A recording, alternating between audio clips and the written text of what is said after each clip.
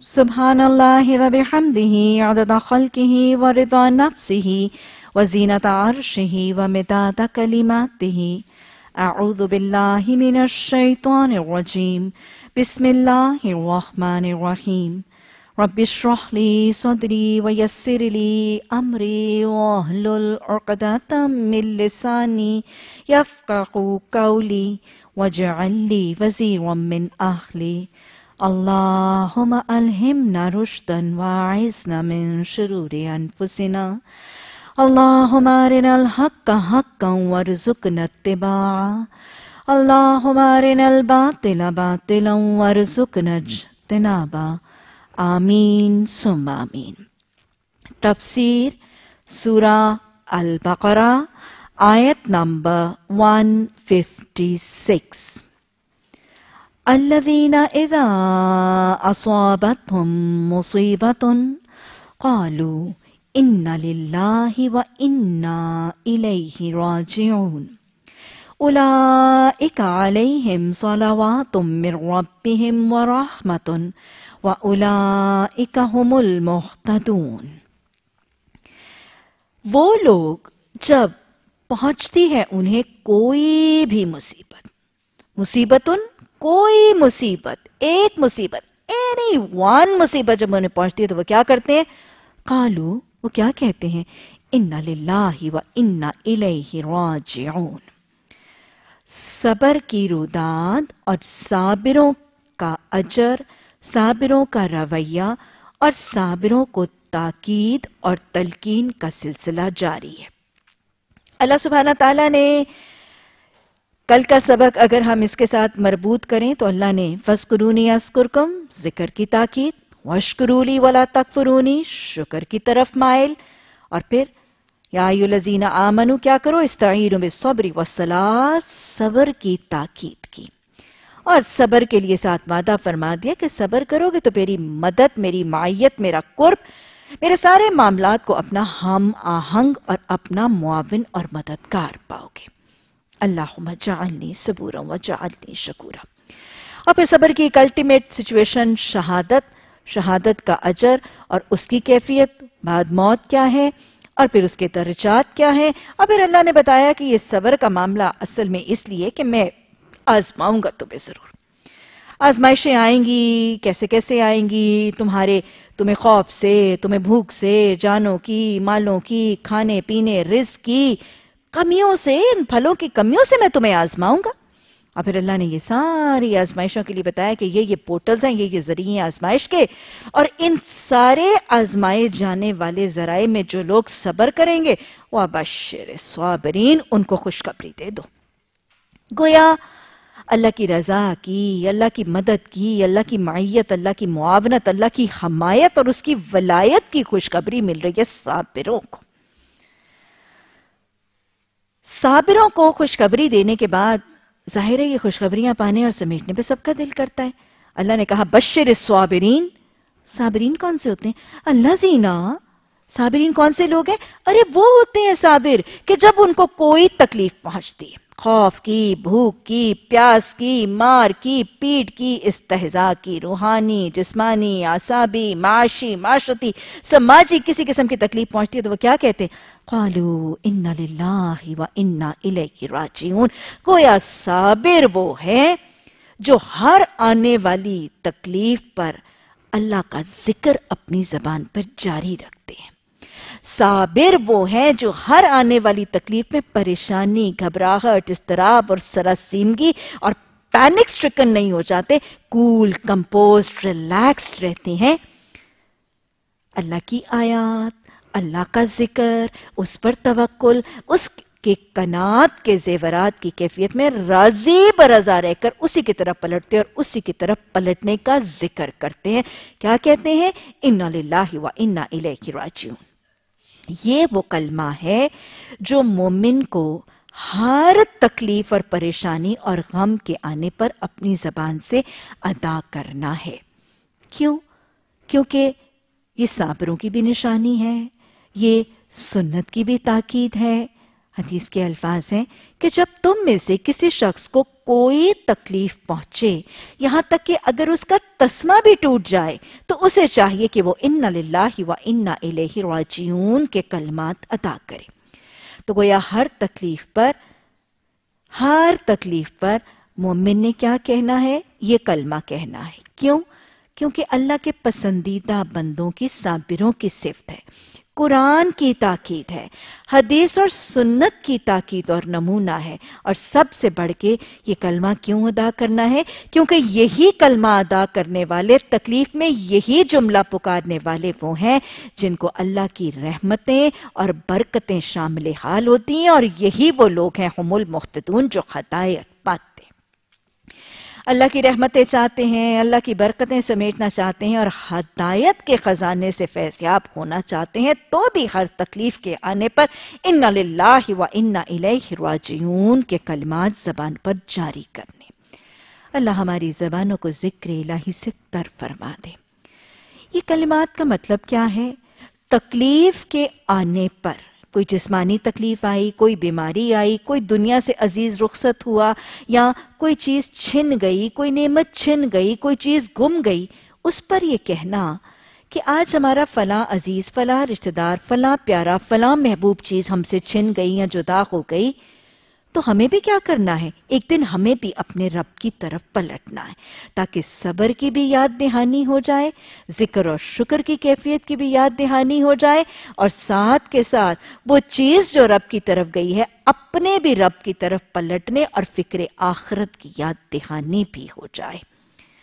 اور یہ یاد رکھیے گا، یہ کلمہ صرف وفات یا موت کی خبر کے ملنے پر نہیں۔ آج ہمارے ہاں یہ طریقہ کب صرف جب موت کی خبر ملتی ہے، کسی کی وفات کی خبر ملتی ہے، تو صرف تبھی انا للہ کہا جاتا ہے۔ ہاں وہ بھی ایک بہت بڑا سانحہ، ایک بہت دکھ اور بہت بڑی آزمائش ہے۔ اس پر بھی کہنا ہے۔ لیکن ہر آنے والی تکلیف، مشکل اور پریشانی پر انا للہ کا جملہ کہنا ہے۔ حدیث میں پھر دورا لیجیے، اگر اس کا تسمہ بھی ٹوٹ جائے، تو آپ کے ہاتھ سے چھٹ کر کوئی برتن گر جائے ٹھوکر لگنے سے کوئی پانی بہ جائے، کسی کا ٹائر پنکچر ہو جائے گاڑی چلاتے وقت، فوراً لائٹ چلی جائے کوئی جو بھی مصیبت بڑی ہے، چھوٹی ہے ایکیوٹ کرائسس ہے، کوئی بھی سچویشن اور سرکمسٹانس جو آپ کو پریشان کر رہا ہے اپسیٹ کر رہا ہے، اس وقت کیا کہنا ہے؟ اِنَّا لِلَّهِ وَإِنَّا إِلَيْهِ رَاجِعُونَ اور پھر حدیث کا ایک اور وعدہ بھی دیکھ لیجیے۔ آپ صلی اللہ علیہ وسلم نے فرمایا، جس شخص کی جو چیز اس سے گم جاتی ہے یا جدا ہو جاتی ہے اور وہ اس پر انا للہ و انا الیہ کہتا ہے تو اللہ اس کو اجر عطا فرماتا ہے یہ کس چیز پر اس کے سفر پر ہے نا یہ اجر لیکن حدیث کا مفہوم میں حدیث کا الفاظ نہیں مفہوم اس حوالے سے بیان کر رہی ہوں لیکن اس کے بعد بھی اس کو اپنی آئندہ زندگی میں وہ کھوئی ہوئی چیز جب یاد آتی ہے اور اس موقع پر بھی وہ یہ کلمہ دہراتا ہے تو اس کو اتنا ہی اجر دیا جاتا ہے جتنا پہلی دفعہ یہ کلمہ کہنے پر دیا گیا تھا۔ بات سمجھ میں آئی؟ کوئی عزیز فوت ہو گیا۔ وفات کی خبر پر فوراً انا للہ کہا صبر سے کہا۔ اللہ کی طرف سے اجر پایا۔ لیکن باقی کی ساری زندگی، اس کی جدائی، اپنی تنہائی، اس کی کمی کا احساس تو ہوتا رہے گا۔ اس زخم سے کچھ نہ کچھ جدائی کا خون تو بہتا رہے گا۔ تو جب بھی اس سے اداسی اور اس کے جدائی کا احساس شدت پکڑے، اس باقی کی زندگی اور باقی ماندہ سالوں میں بھی اگر وہ تکلیف اور اداسی کے آنے پر وہ شخص انا للہ کہے گا، تو خدیث کے حبادے کے مطابق وہ اتنا ہی اجر اپنے اس صبر کے مطابق پھر پائے گا جتنا پہلی دفعہ انا للہ کہنے کے حوالے سے اس نے پایا۔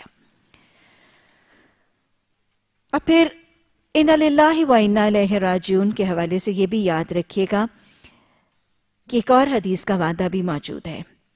اور یہ حدیث کا وعدہ ہم تک وہ صابروں کے گھرانے کے توسط سے پہنچتا ہے، حضرت ابو سلمہ اور حضرت ام سلمہ۔ کل ہم نے جانوں کی کمی میں حضرت ام سلمہ اور حضرت ابو سلمہ کا واقعہ جو ہے، اس کا ہم نے ذکر کیا۔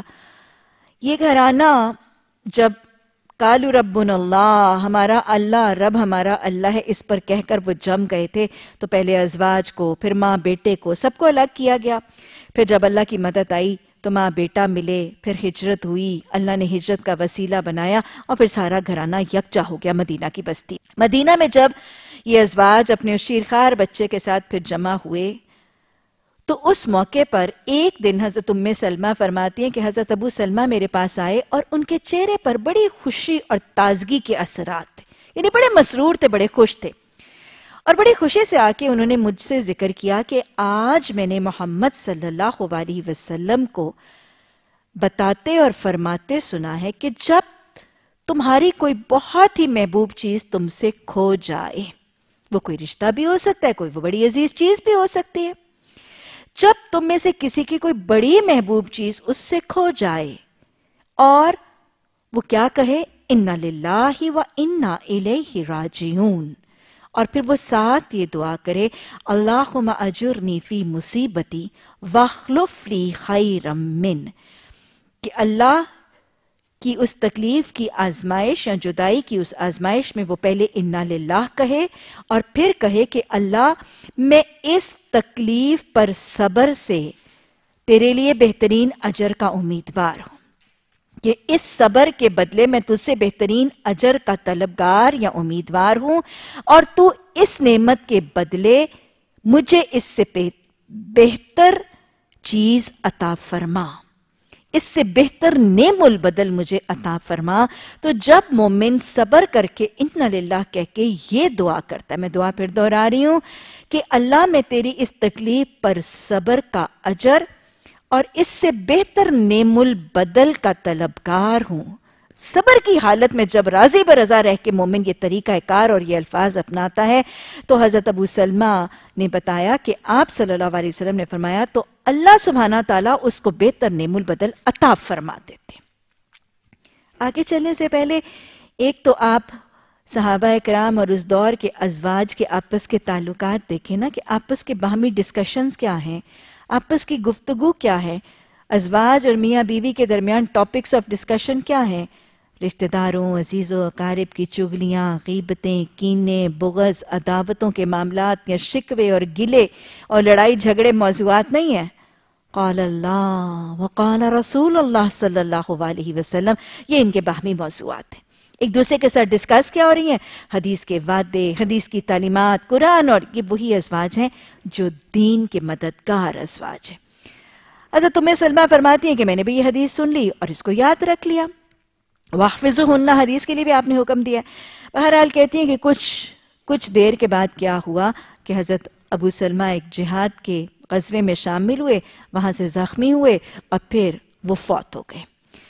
کہتی ہیں کہ جب میرے شوہر اور بہت ہی میرے عزیز اور بہت ہی میرے پیارے شوہر تھے، جب یہ فوت ہو گئے تو اس وقت وفات کے وقت میں نے انا للہ و انا الیہ راجیون کے کلمات اپنی زبان سے ادا کیے، تو مجھے وہ مسنون دعا یاد آ گئی۔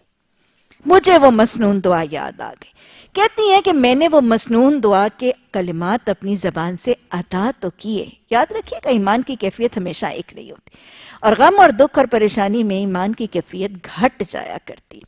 کہتی ہیں کہ یہ کلمات میں نے اپنی زبان سے ادا تو کیے، لیکن ساتھ ہی میرے دل میں یہ خیال آیا، بھلا مجھے ابو سلمہ سے بہتر شوہر کیسے مل سکتا ہے؟ کیونکہ اس دعا میں کیا تھا؟ اللہ مجھے اس چیز کا بہترین نیم البدل عطا فرما۔ کہ میں نے یہ کلمہ بھی پڑھ دیا میں نے یہ آیت بھی پڑھ لی ہے میں نے یہ دعا بھی پڑھ لی ہے، لیکن میرے دل میں یہ خیال آیا کہ مجھے ابو سلمہ سے بہتر شوہر کیوں کر کیسے مل سکتا ہے؟ لیکن اللہ کا وعدہ تو سچا ہے۔ محمد صلی اللہ علیہ وسلم کی حدیث کی تعلیمات اور وعدے تو برحق ہیں نا، جو آپ نے فرمایا وہ ہوتا ویسے ہی۔ حضرت تمہیں سلمہ فرماتی ہیں کہ میں نے یہ کہہ بھی دیا، مجھے کچھ تعجب اور حیرت بھی رہی۔ یقین کی کیفیت اور ایمان کی پختگی ویسے نہ تھی، لیکن کہتی ہیں ہوا من ان ویسا ہی۔ عدت پوری ہوتے سار۔ کہتی ہیں مجھے نکاح کا پیغام آ گیا، کس کی طرف سے؟ وما ارسلناک الا رحمت للعالمین محمد صلی اللہ علیہ وسلم کی طرف سے نکاح کا پیغام۔ وَخْلُفْ لِي خَيْرًا مِنْهِ، کی دعا کے بعد اللہ اس سے بہتر نعم البدل عطا فرما۔ کہہ دیا مجھے رسول رحمت صلی اللہ علیہ وسلم کی طرف سے نکاح کا پیغام آ گیا اور اس پر حضرت ام سلمہ نے نکاح کے پیغام کا انکار کر دیا۔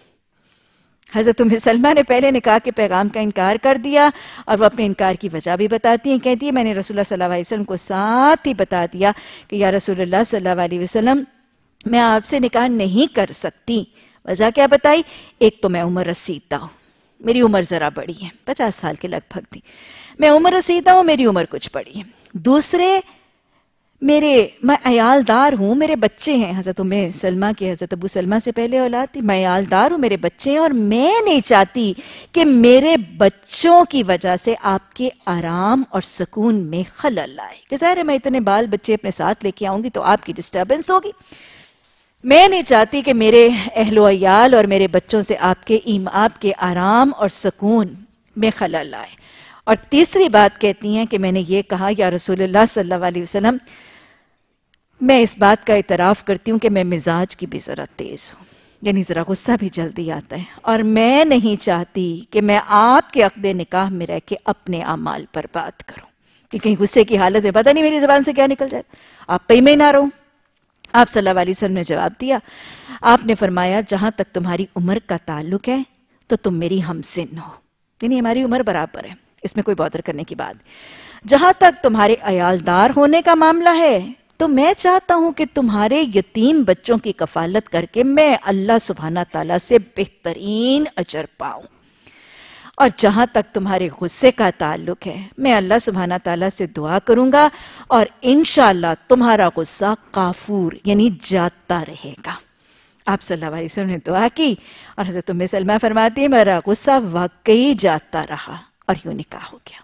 تو لہٰذا یہ یاد رکھیے گا، تکلیف کے آنے پر ہر تکلیف کے آنے پر ہمیں یہ کلمہ بھی کہنا ہے اور وہ مسنون دعا کو پورے یقین، پورے توکل اور پورے ایمان کے ساتھ اپنی زبان سے ادا بھی کرنا ہے۔ اللہ ہمارے حافظوں میں بھی اضافہ فرمائے اور اللہ یہ علم کے خزانے جو رب کی توفیق سے ہم تک پہنچتے ہیں، اللہ ان سے بہراور ہونے کی بھی ہمیں بہترین توفیق عطا فرمائے۔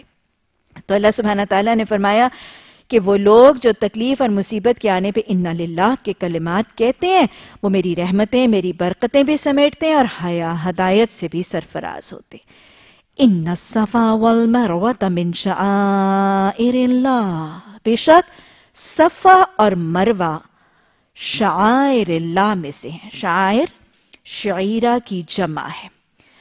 شعیرہ کہتے ہیں نشان کو، سمبل کو علامت کو، پہچان کے طریقے کو آئیڈینٹیفیکیشن کا پوائنٹ نشان سمبل علامت، پہچان کی کا ذریعہ یا پوائنٹس آف آئیڈینٹیفیکیشن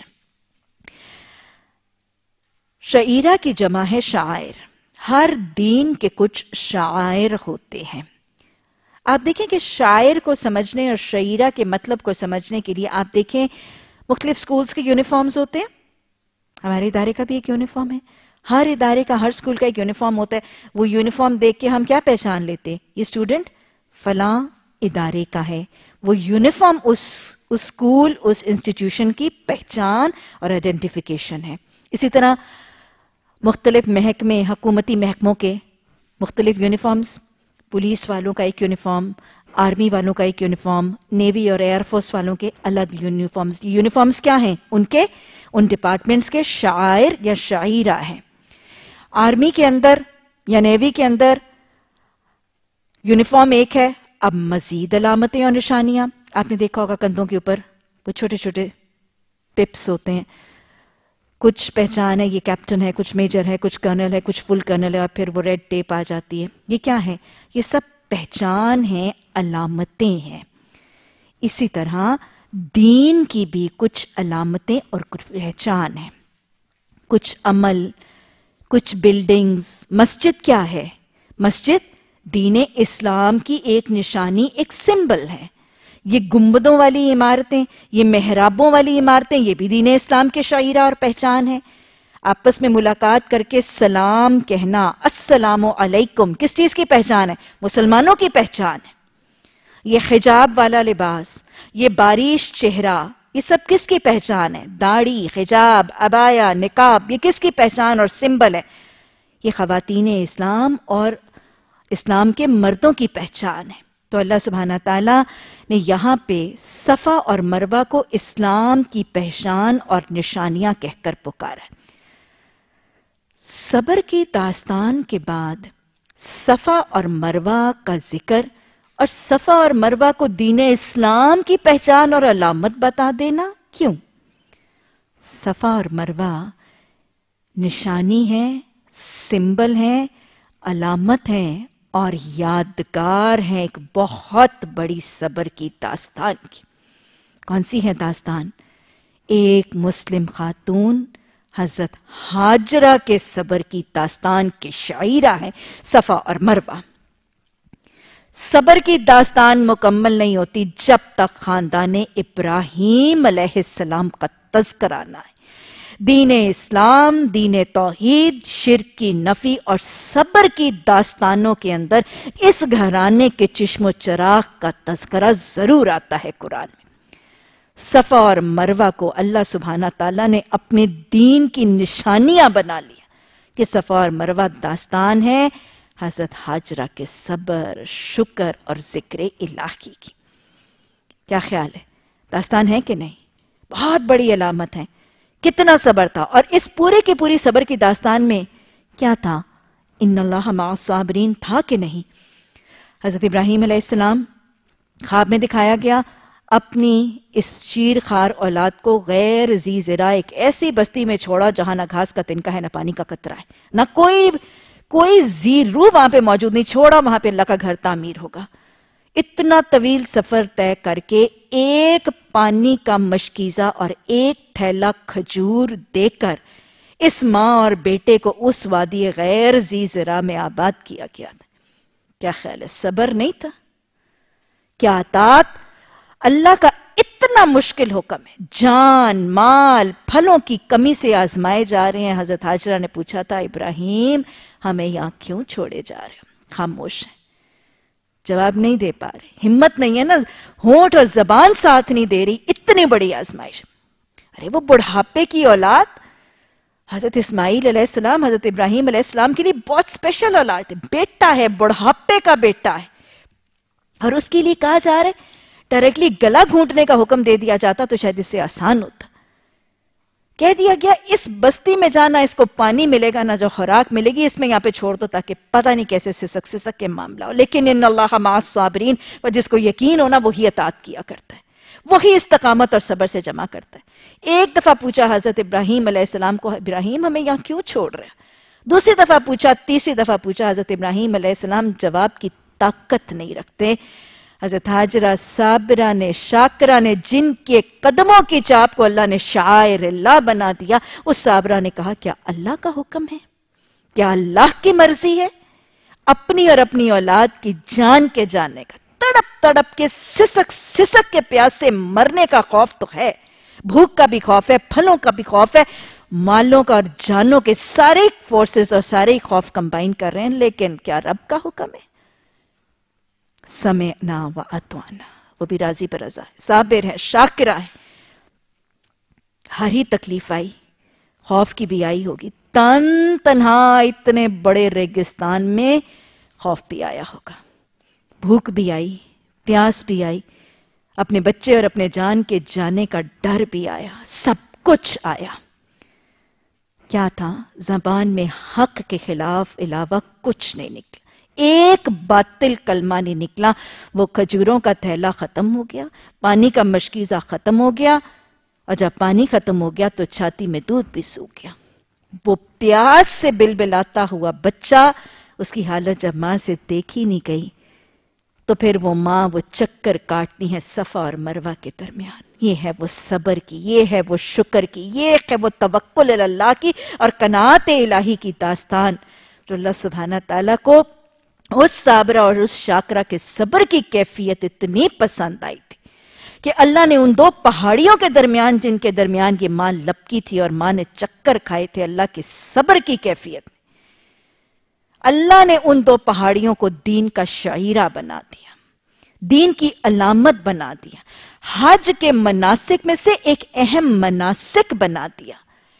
اور قیامت تک اللہ سبحانہ تعالیٰ نے یہ کہہ دیا کہ کسی حاجی مرد اور عورت کا حج پورا نہیں ہوگا جب تک صفا اور مروہ کے درمیان تم اس طرح دوڑ نہیں لوگے جیسے میری صابرہ دوڑی تھی۔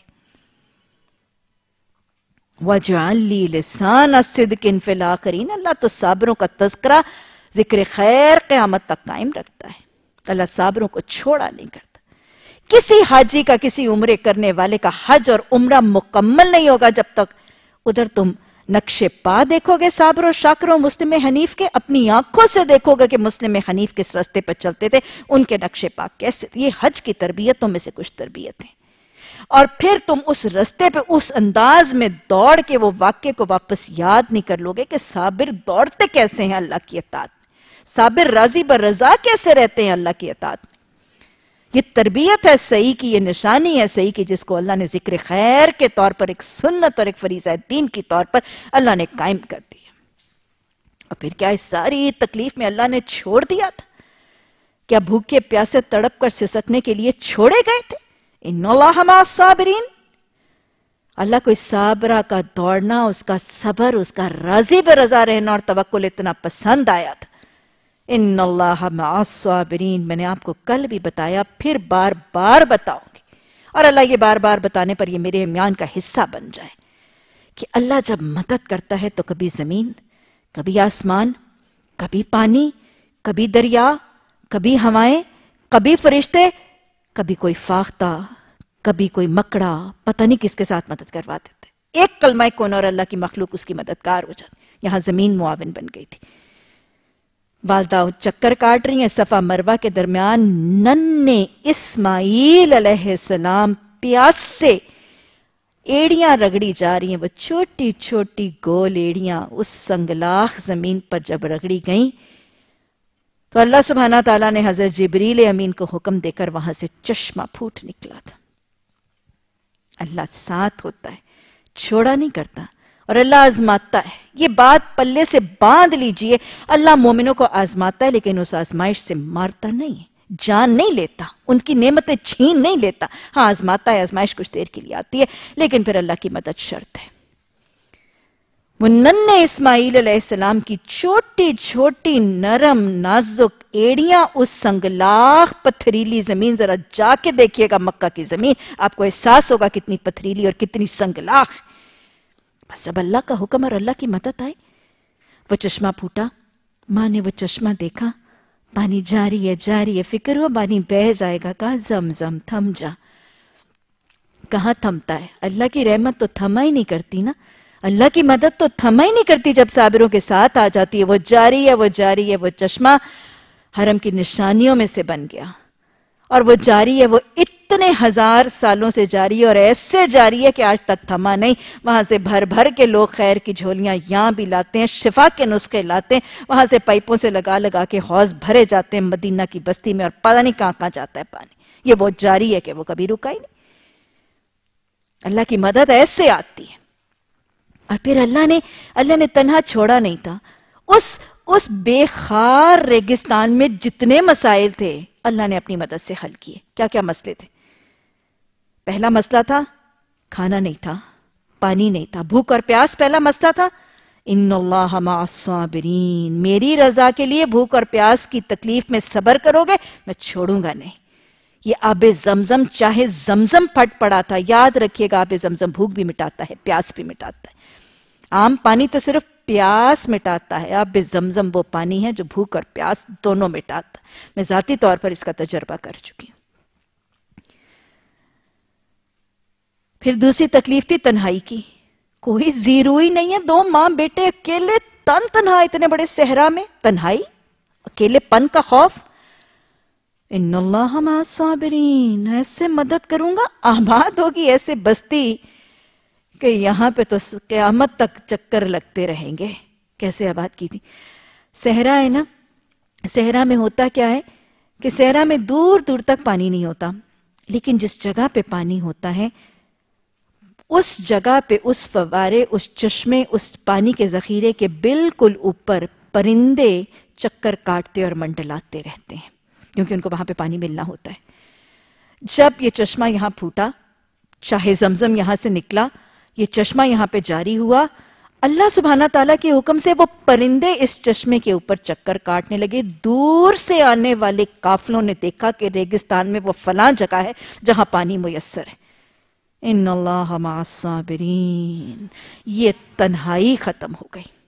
یہ تنہائی ختم ہو گئی اور وہ خطہ آباد ہو گیا۔ قبیلہ جرہم کے لوگ آئے اور اس خطے میں حضرت حاجرہ اور حضرت اسماعیل علیہ السلام کے آباد کار بن گئے۔ تیسرا مسئلہ کیا تھا؟ فکر معاش کا کوئی ذریعہ نہیں تھا، مال کی کمی تھی۔ جان کی کمی بھی دور ہوئی، کھانے اور بھوک اور پیاس کی کمی بھی دور ہوئی، تنہائی کا خوف بھی اللہ نے مٹا دیا، آباد ہو گیا خطہ، بس گیا خطہ، جنگل میں آبادی آ گئی۔ اور پھر مالوں کی کمی تھی۔ قوام نہیں ہے۔ حضرت ابراہیم علیہ السلام چھوڑ گئے کمائے گا کون؟ وہ بچہ کمائے گا یا بچے کو دودھ پلانے والی ماں کمائے گی؟ مالوں کے کمی سے آزماؤں گا، لیکن پھر صبر کرو گے تو ذریعے وسیلے بنا بھی دوں گا۔ حضرت حاجرہ حضرت حاجرہ نے اسی پانی کا کاروبار کر لیا۔ باٹر، میں پانی دوں گی، تم مجھے اس کے بدلے گیہوں دو گے۔ میں پانی دوں گی، یہ یہ اس چاہے زمزم کی متولی بن گئی، اس کی نگران بن گئی، یہ میرے معاملے سے میری نگہداشت میں پھوٹا ہے، یہ میرا ہے۔ صحرا میں جس کو چشمہ مل جائے، صحرا میں جس کو پانی کا ذریعہ مل جائے، وہ تو بڑا بہت بڑا اس کا معاش کا ذریعہ۔ یہی چشمہ ان کی بھوک بھی مٹا گیا، پیاس بھی مٹا گیا، تنہائی کا دور کر گیا اور یہی چشمہ ان کا فکر معاش، ان کے کمائی کا ذریعہ بھی بن گیا۔ اللہ چھوڑا نہیں کرتا۔ اللہ رحمان بھی ہے۔ اللہ رحیم بھی ہے، اللہ الودود بھی ہے، اللہ سمی بھی ہے، وہ بصیر بھی ہے، وہ خبیر بھی ہے۔ تکلیف میں آزمائے جانے والے کو وہ سن رہا ہوتا ہے۔ اگر وہ بے صبری کرے، اللہ سے شکوے شکایتیں کریں تو بھی وہ سنتا ہے۔ اگر وہ تکلیف کے آنے پر کیسے صبر کرنا ہے؟ صبرن جمیل صبر کا طریقہ ہے۔ مومن کیسے صبر کرتا ہے؟ جو ہی اسے تکلیف پہنچتی اللہ کا ذکر اور قرآن کی آیات اور ان للہ کہہ کے اللہ کا ذکر کرتا ہے۔ یاد رکھیے گا صبر کا طریقہ یہ بھی نہیں ہے کہ صبر تکلیف کے آنے پر پہلے رونا، دھونا، چہرے نوچنا، کپڑے پھاڑنا، بالوں کو بکھیرنا، شکوے، شکایتیں، اللہ سے بھی نعوذ باللہ۔ یہ ساری تکلیفیں اللہ نے مجھے پر بھیجنی ہے نعوذ باللہ۔ میں ہی رہ گئی ہوں ساری مصیبتوں کے لیے؟ نہیں۔ مومن کا یہ طریقہ نہیں ہے صابروں کا طریقہ نہیں ہے۔ ان اللہ مع صابرین وہ ہوتے ہیں کہ جب تکلیف آتی ہے قالو ان للہ فوراً ہی راضی پر رضا ہے۔ ابتدا میں رونا، دھونا نوحو فغا کرنا اور پھر مرتا کیا نہ کرتا ہے اینڈ میں صبر کر لینا، یہ صبر نہیں ہوا کرتا۔ صبر صبر جمیل ہوتا ہے۔ شروع ہی سے، آغاز ہی سے اختتام تک۔ فَصْبِرْ حَتَّى يَحْقُمُ اللہ. صبر اس وقت تک کرو تاکہ اللہ جب تک تمہارا فیصلہ نہیں کرتے تمہارے معاملات کو نہیں ٹال دیتا یا تمہاری زندگی کا فیصلہ نہیں کر دیتا. آغاز سے لے کے انتہا تک صبر، اپنے ایمان کے وقار اور جمال کے ساتھ صبر، یہ ہے مومن کا صبر. تو لہٰذا ایسے ہی صبر کیا حضرت حاجرہ نے اور ایسا صبر جب ان خاتون نے کیا تو اللہ سبحانہ تعالیٰ نے ساری تکلیفوں کو دور کیا، سارے مسائل کو حل کیا۔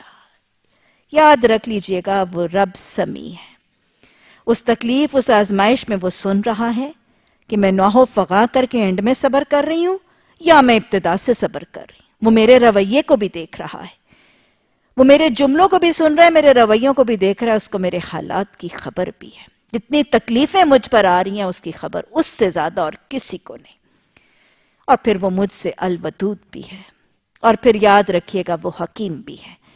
وہ حکمت والا ہے۔ اگر تکلیف کو کچھ دیر کاٹتا نہیں تو اس کے اس فیصلے میں بھی کوئی نہ کوئی خیر میرے ہی لیے پنہا ضرور ہے۔ یہ چیزیں جس کے علم میں ہوں۔ اور جو رب کو ان صفات کے ساتھ جانتا ہو اور یہ جانتا ہو کہ وہ میرے ساتھ ہے۔ اس کے لیے صبر مشکل نہیں ہوا کرتا۔ اللہم جعلنی صبورا وجعلنی شکورا۔